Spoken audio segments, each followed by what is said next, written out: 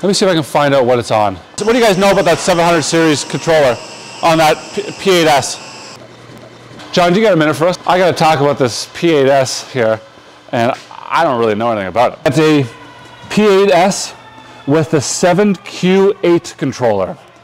So you have a primary closed loop system in here. So when you get a command, the valve is guaranteed to be in that command. Yes. Then you have a secondary position control that increases your accuracy.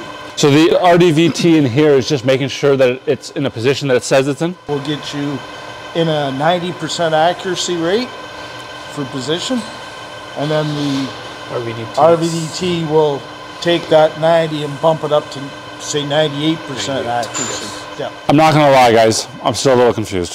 The factory labeled it with with one thing, but was another, right? Different number, yeah. And we got then we have a video coming of that too. yeah. Did you use this one at all to tell the differences, or were you able to just figure it out based on the literature before? Based on the literature. We, we get Customer wanted a potentiometer, and that's what's inside. Okay. An Okay.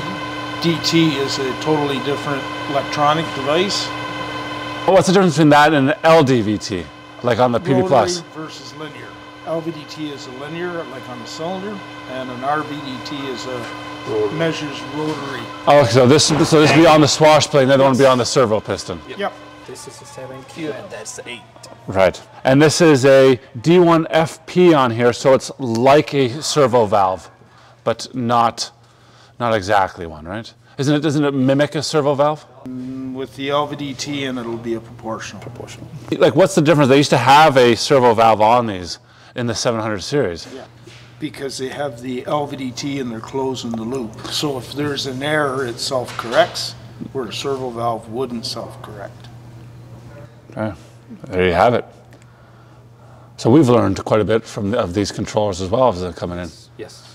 Always learning. Yep.